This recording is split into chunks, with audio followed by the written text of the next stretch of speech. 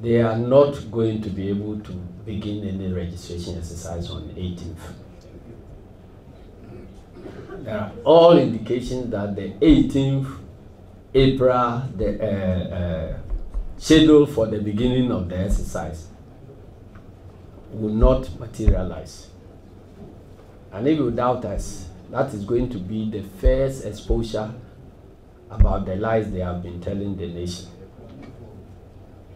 Because you see, you are now in the process of procurement.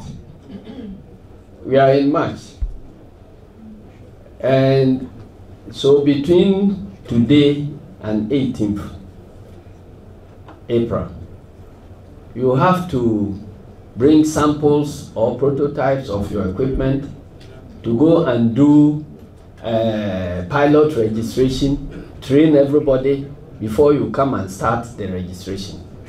Unless they want to create confusion, they will not even be in a position to uh, uh, begin the registration on the 18th in the first place. We don't believe that they can begin that registration in the first place.